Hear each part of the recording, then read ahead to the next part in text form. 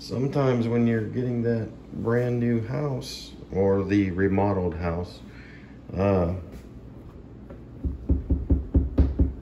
you don't secure the, see that's loose.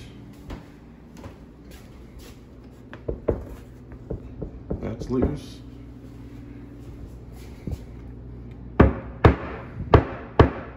They didn't even secure the countertop down all the way. Brand new kitchen.